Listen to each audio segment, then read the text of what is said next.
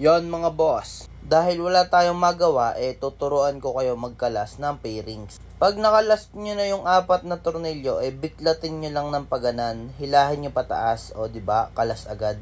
Huwag kayong matakot mga boss kasi hindi yan basta-basta masisira. Ganyan talaga yung fittings niyan. Pakita ko sa inyo yung kakalasin na tornilyo.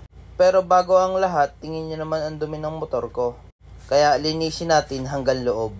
Una, kinalas ko muna yung apat dyan. Or kung may visor, kakalasin mo muna. Syempre, una yon. Tapos, yung U. Yan, mga boss.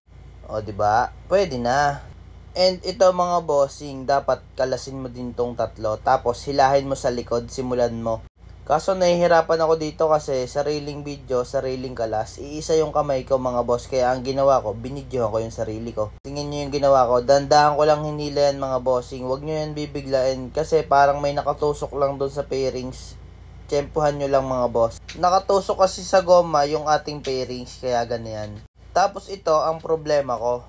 Ang ingay niyan pag nagdadragging ang motor ko. Kaya kakalasin din natin yan. Tapos ito na nga Kinalas ko muna yung tornilyo dyan, dalawa. Tsaka isa sa labas, isa din sa loob. Yan. Tapos, bago mo biklatin mga boss, yun no, saglit lang.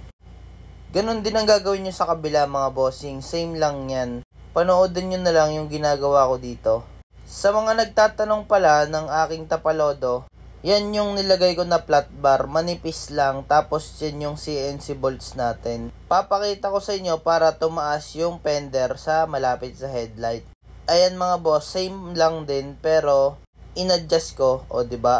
Nuggets nyo ba? Tapos, kinalas ko na rin to, este tinuklap, kasi hindi natin makakalas yan kapag hindi natin tinuklap yan. May ilang tornilyo dyan mga bossing, para matanggal nyo yung ilalim nyo o 'di ba ang angas ng time lapse natin. Tapos tusukin niyo lang yung apat na clip sa ilalim. Tapos ito naka-clip dati kaso ngayon nilagyan ko ng bolts kaya kalasin natin 'yan. Kailangan kalasin niyo 'yan tas yung sa may footboard para matanggal nyo. Tapos ito naman yung sa signal light. Tanggalin nyo muna mga bossing yan. Nakakatusok lang naman yan dyan. Bago nyo na lang ikabit pag ikakabit nyo na ulit yung pairings. O, ba diba? Kalas na agad. Wala pang isang oras.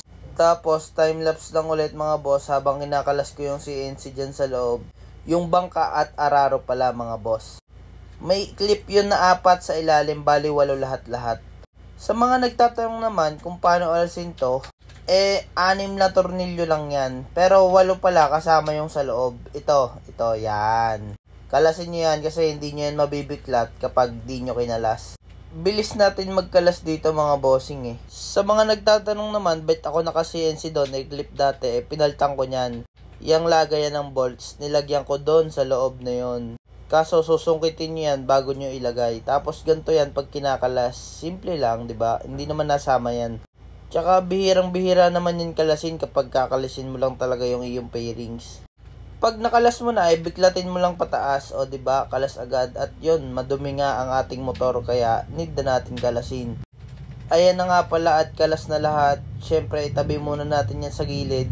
O 'di ba? Kitang kita nyo naman ang dumi ng motor natin. Tapos comment na lang kayo for part 2 mga bossing. At yan inalis ko rin pala yung sa may tangke para malinis natin ng todo. Hindi ko na pala kinalas yung sa may dashboard tinatamad na ako, hindi, joke lang. Ito lang naman kasi yung bala ko kalasin yan. Kasi ang ingay niya nangangaragkag. Kinalas ko na rin pala yung busina tsaka headlight kasi lilinisin natin yan ng todo. Yun lang mga boss, salamat sa nanood. So, yeah. Tapos, linisin na natin to mamaya. Comment na lang kayo sa baba. Yun lang. Shoes!